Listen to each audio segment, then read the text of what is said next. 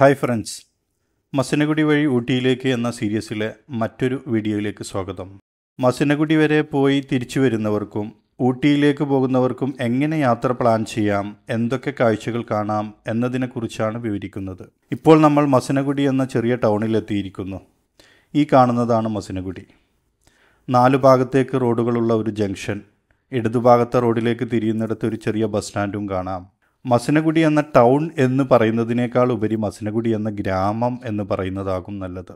Mudumalai national പാർക്കിനോട് അല്ലെങ്കിൽ മുതുമല വന്യജീവി സങ്കേതത്തിന് ചുറ്റുമുള്ള പ്രകൃതി സൗന്ദര്യം നിറഞ്ഞു നിൽക്കുന്ന ഒരു ഗ്രാമീണ അനുഭൂതി നൽകുന്ന വനങ്ങളും വന്യമൃഗങ്ങളാലും ചുറ്റപ്പെട്ട ഒരു കൊച്ചു ഗ്രാമം അതാണ് മസിനഗുഡി.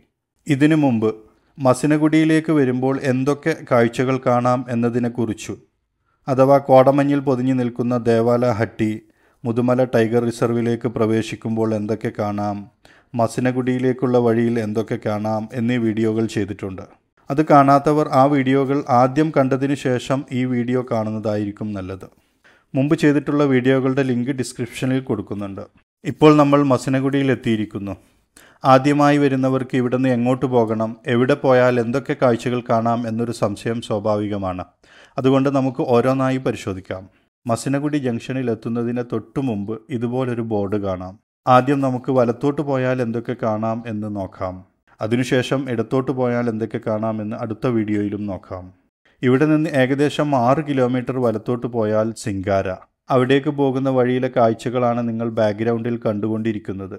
ഞാൻ പോകുമ്പോൾ വഴി വിജനമായിരുന്നു ഏകദേശം രാവിലെ പത്തു മണിയായി കാണും.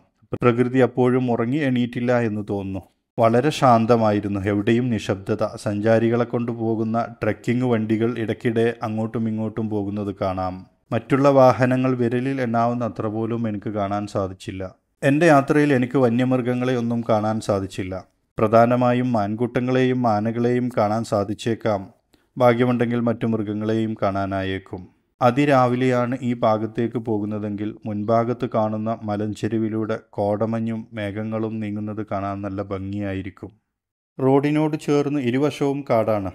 എന്നാൽ അതിന്റെ പച്ചപ്പും ഭംഗിയും കാണുമ്പോൾ ഇറങ്ങി ഫോട്ടോ എടുക്കാൻ തോന്നുക സ്വാഭാവികമാണ് ഈ വീഡിയോയിൽ തന്നെ നിങ്ങൾക്ക് കാണാം. നല്ല പച്ചപ്പരവതാനി വിരിച്ച പോലത്തെ പ്രകൃതി ഭംഗി.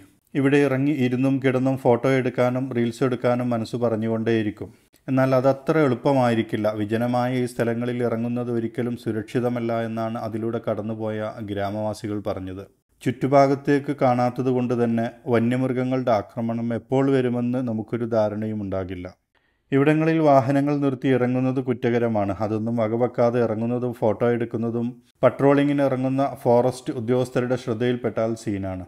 ഈ റോഡിലൂടെ പോകുമ്പോൾ പല ഭാഗത്തും റിസോർട്ടുകൾ കാണാം. ഒറ്റപ്പെട്ട പച്ചക്കറി കൃഷിത്തോട്ടങ്ങളും കാണാം. കുറച്ച് മുന്നോട്ട് പോയാൽ എസ്റ്റേറ്റ് ജീവനക്കാരുടെയോ മറ്റോ കോട്ടേഴ്സുകളോ ചെറിയ വീടുകളോ ഒക്കെ കാണാം. പിന്നീട് അങ്ങോട്ട് ഇരുവശങ്ങളിലും ചെറിയ കാപ്പിത്തോട്ടങ്ങളാണ്. അതിനിടയിൽ വലിയ മരങ്ങൾ നിൽക്കുന്നത് കാണാം. അത് എന്ത് മരങ്ങളാണ് എന്ന് എനിക്കറിയില്ല. എന്നാൽ ആ മരങ്ങളിലുള്ള പഴങ്ങൾ ഭക്ഷിക്കുന്ന മലയണ്ണാനുകളെ കുറേ കാണാൻ സാധിച്ചു.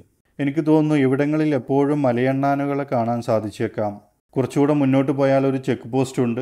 അതുവരെയേ നമുക്ക് പോകാൻ സാധിക്കൂ. അവിടെ നിന്ന് അങ്ങോട്ട് കടത്തിവിടില്ല. അവിടെയുള്ള ഉദ്യോഗസ്ഥരുടെ അനുമതിയോടെ അകത്തേക്ക് പോകാൻ കടത്തിവിടും എന്നൊക്കെ ചില വീഡിയോകളിൽ കണ്ടിരുന്നു. അതിൽ എത്രത്തോളം വാസ്തവമുണ്ടെന്ന് എനിക്കറിയില്ല. അവിടെ എന്താണെന്ന് ഞാൻ ആ ഓഫീസറോട് ചോദിച്ചു.